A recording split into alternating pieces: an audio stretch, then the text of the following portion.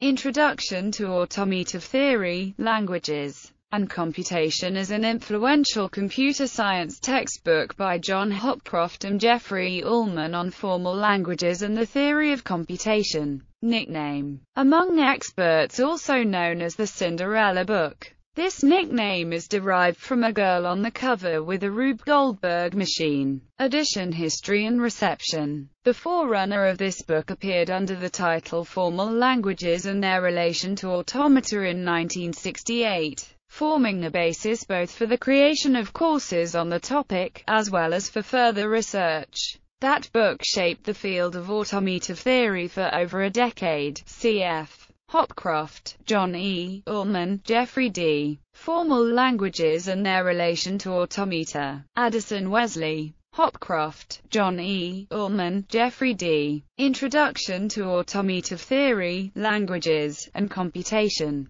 Addison Wesley. ISBN 81-7808-347-7. Hopcroft, John E., Motwani, Rajiv Ullman, Jeffrey D. Introduction to Automata Theory, Languages, and Computation. Addison Wesley. ISBN 81-7808-347-7. Hopcroft, John E., Motwani, Rajiv Ullman, Jeffrey D. Introduction to Automata Theory, Languages, and Computation. Addison Wesley. ISBN 81-7808-347-7. Hopcroft, John E., Motwani, Rajiv Ullman, Jeffrey D. Introduction to Automata Theory, Languages, and Computation. Pearson. ISBN 1292039051. The first edition of Introduction to Automata Theory, Languages, and Computation was published in 1979, the second edition in November 2000, and the third edition appeared in February 2006.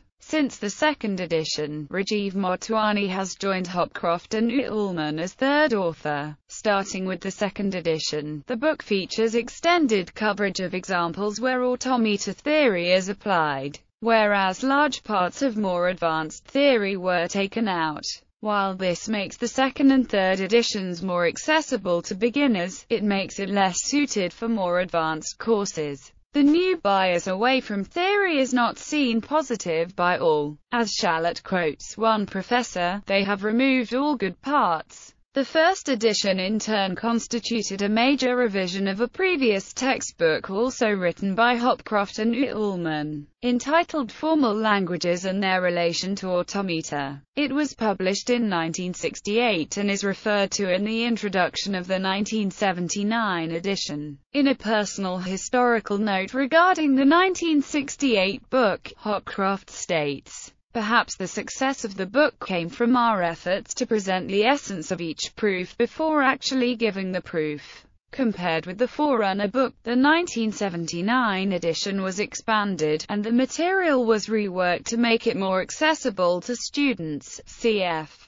This gearing towards understandability at the price of succinctness was not seen positive by all. As Hopcroft reports on feedback to the overhauled 1979 edition, it seems that our attempts to lower the level of our presentation for the benefit of students by including more detail and explanations had an adverse effect on the faculty who then had to sift through the added material to outline and prepare their lectures. Still, the most cited edition of the book is apparently the 1979 edition. According to the website CiteSeer, over 3,000 scientific papers freely available online cite this edition of the book.